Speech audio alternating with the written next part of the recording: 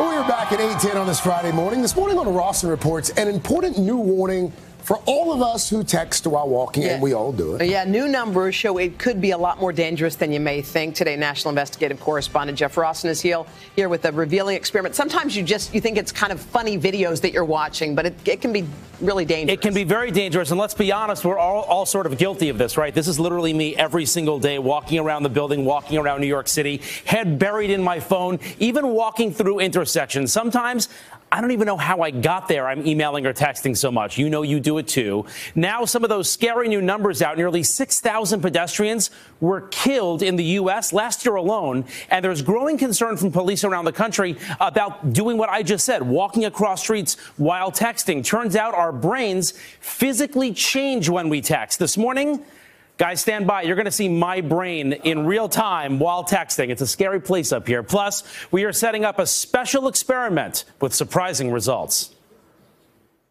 The videos are startling. Watch this man texting and walking right into a wall. This person falling face first into a pond while on his phone. This guy so distracted he falls downstairs.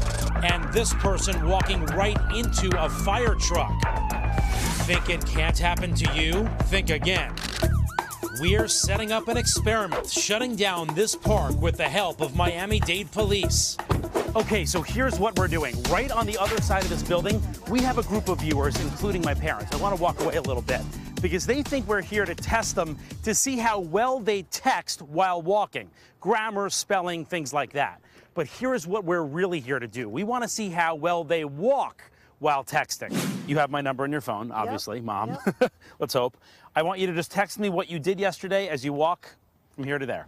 Right away, it's not great. A little wobbly, though. A little wobbly. In fact, a study shows that 60% of texters can't walk in a straight line.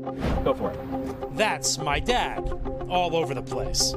Five seconds in, he's already off course. There you go. Right onto the yep. Let's go. Dad, we were actually testing for is to see if you could walk a straight line. Did I? No, you literally like went diagonal inside the crosswalk, and then you like almost went over that rock, but you missed it just by a hair. Unbelievable. It's not just my family. Watch as this woman heads straight for the bushes, almost tripping over the curb. Oh my God.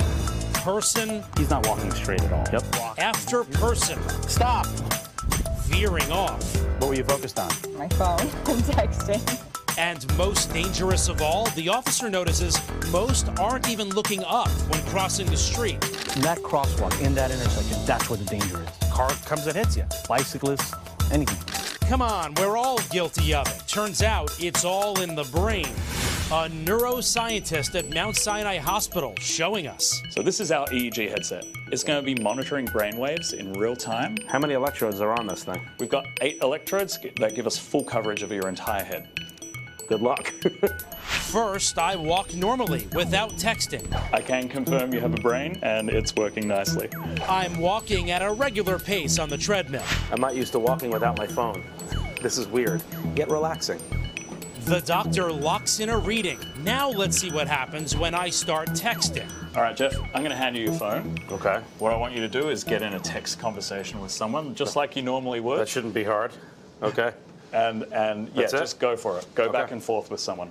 I'll do my producer who's right over here. We text for several minutes as we normally would. The entire time, I continue to walk. All right, Jeff, hop off. Let me show you your brain. That's scary. What do we got? Over here on the left, this is your brain when you're just walking and not focusing on anything else. Now look at all this white space. This tells us that you're focusing on just the one thing. Now we're going to move over here and look at texting and walking at the same time. It's that big of a difference. Absolutely. Your brain is completely overloaded. That's right. Look at the side by side. Remember, that white space when I'm just walking means I'm totally concentrating. But when I'm texting and walking, there's so much red, my brain is having trouble doing both. It's an absolute myth that humans can multitask. The only thing that we can do is we can rapidly switch between two tasks, but that means that we're doing both of those tasks a little poorer than we would if we were just trying to do one of those tasks alone. So next time you're crossing the street, put down the phone. My brain on texting. Ugh. Told you it was scary up here. By the way, the New York Times posted a blog about this a few years back. I found fascinating. They bring up a really interesting point about our blind spot. Let me bring the camera. Come on over here, John. I want you to take a look. This is what you see basically when you're texting. I'm producing. I'm, I'm uh, texting my producer Connor again. You can see you only see the angle right in front of you. In fact, we have an overhead shot that I want to show you as well.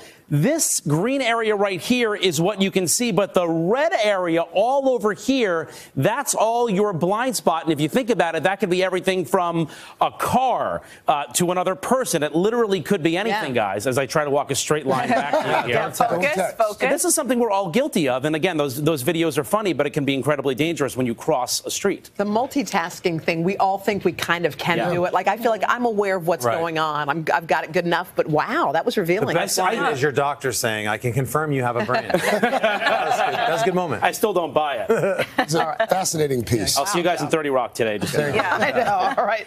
Hello, Today fans. Thanks for checking out our YouTube channel. Subscribe by clicking that button down there and click on any of the videos over here to watch the latest interviews, show highlights, and digital exclusives.